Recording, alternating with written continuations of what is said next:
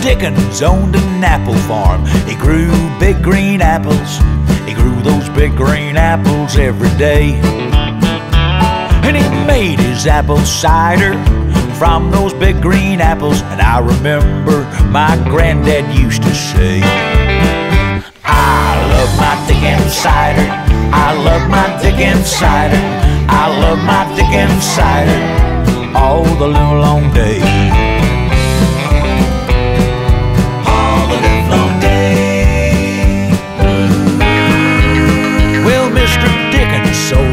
Apple farm to Mr. Cummins. He grew those big green apples every day.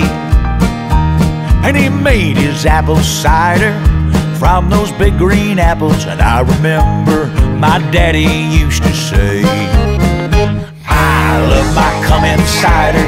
I love my Cummins cider. I love my Cummins cider all the live long day.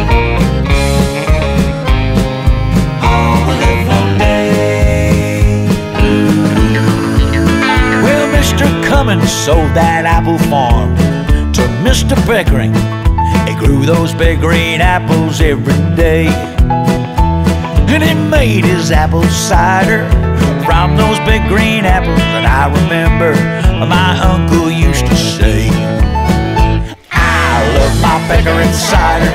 I love my Pickering cider. I love my Pickering cider all the live long day.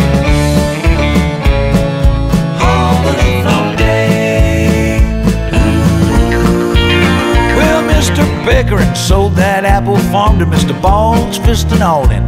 And he grew those big green apples every day.